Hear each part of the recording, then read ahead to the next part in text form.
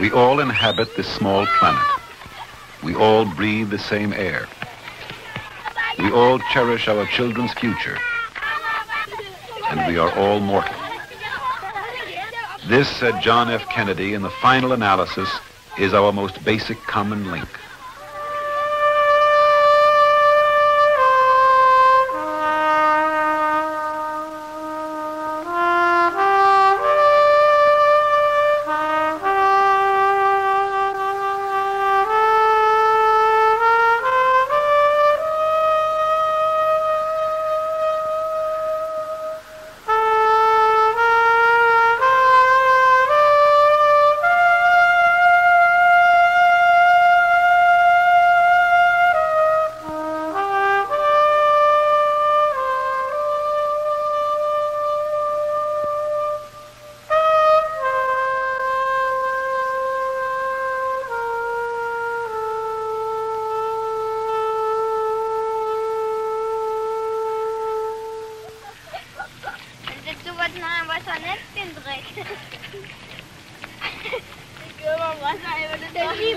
We live in an age of awesome paradox.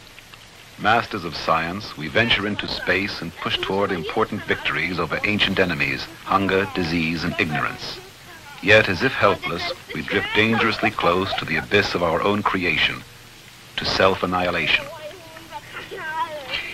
Man, for all his vast powers, is divided against himself, and his own most formidable enemy is himself.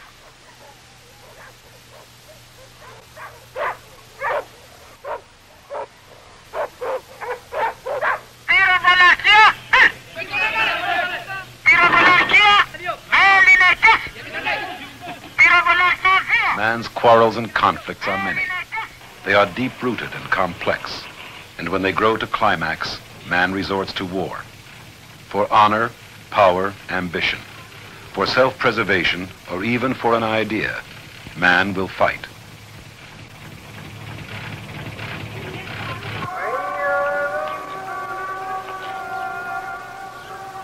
After centuries of warring, man is still poised for battle. He will risk war. He will choose it or accept it if the alternatives seem worse. After centuries, man is still the same.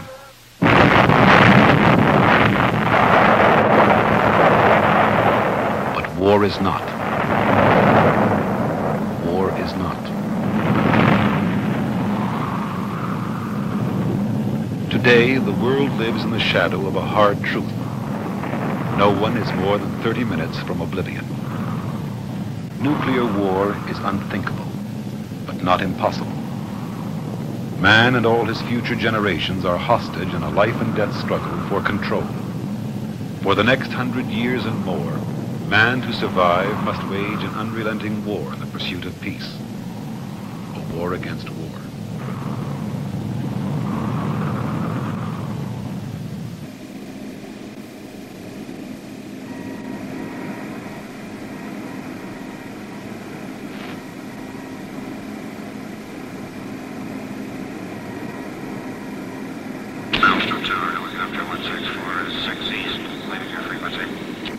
Montana in the north-central United States is wheat and cattle country.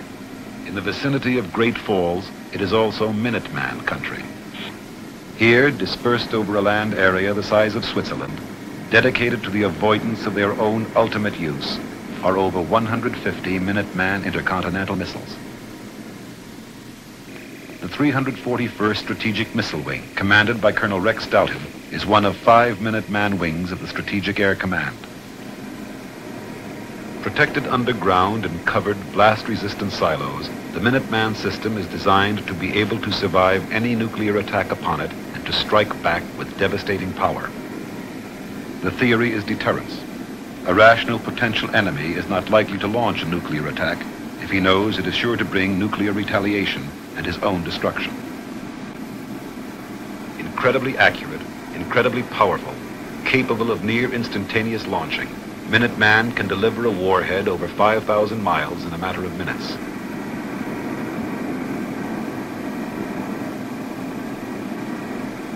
But deterrence is a mutual thing.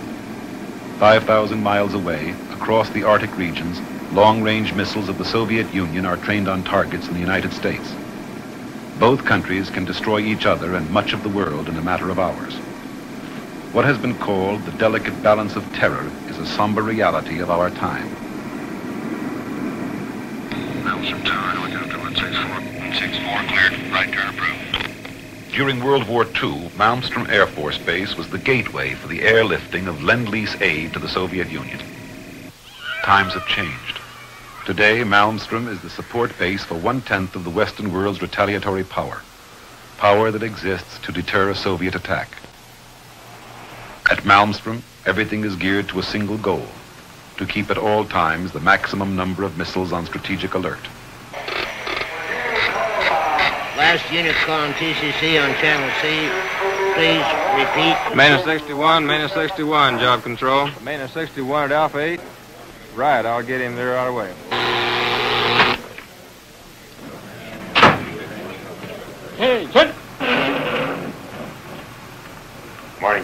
Gentlemen. Morning. Morning,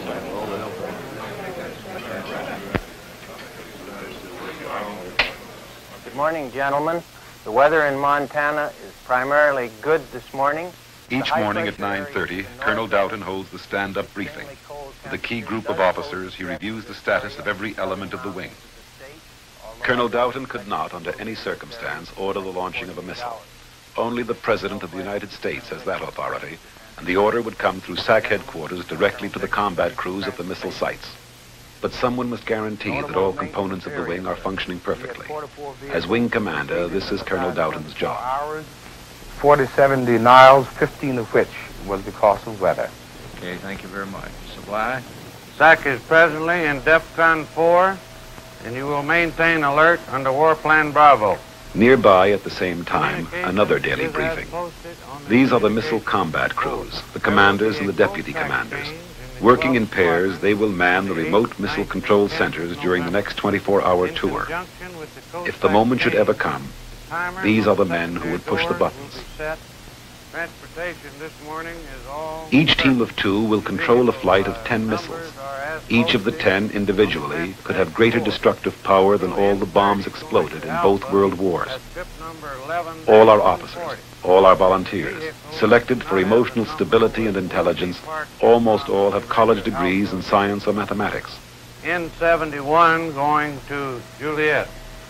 We'll have vehicle 6281, trip number 11-236.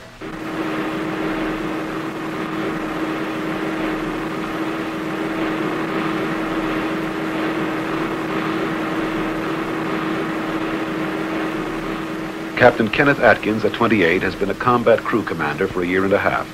Before coming to Malmstrom, he was an Air Force tanker pilot. Originally from Texas, Atkins holds a degree in aeronautical engineering. Married, the father of a four-year-old son, this will be his 122nd tour in a Minuteman Control Center. Lieutenant Jim Highland from New York, a deputy crew commander, is unmarried. He holds a degree in mathematics and is 22 years old.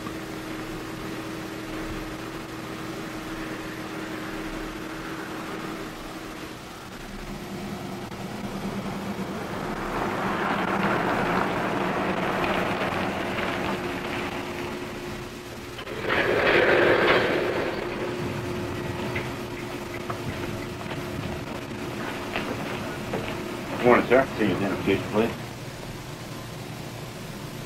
Okay, sir.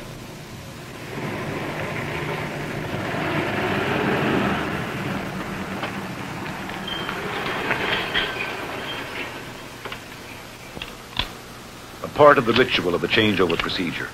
The crew going on duty is issued revolvers and ammunition. Sir, could I send identification you clear down? Right, sir. Uh, That's use district control number 108. Authenticate with 197. Sergeant Wimsett. Okay, sir.